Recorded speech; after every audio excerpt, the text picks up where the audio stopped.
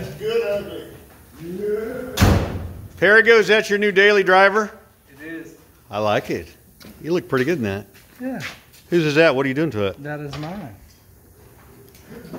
What else? What all you got to do to that bad boy? We are getting ready to put fenders on it.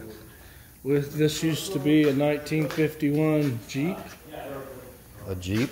Yeah. We cut, we cut it. We took three foot out of the middle. Holy cow, man! So now this is my little 51 Jeep Roadster. We're gonna put fenders right there, and we're gonna put fenders on the back. That's pretty cool. So, the, where was this hiding out? This this thing just showed up. What yesterday or did it or today? Where was this hiding out at? This has been hiding out at a friend of mine's. We he's had it for a while, and Okay. anyway, we uh, done a lot of work together on it. and- Well, you got you got a few projects now, man. The Oh, wrecker, yeah, the wrecker, the the, the Jeep. Jeep. We got the the, The twin Bug. twin turbo bug, Yeah, and then you also have your you you and your guys, guys, guys. We are do- doing a four-wheel drive Mustang convertible.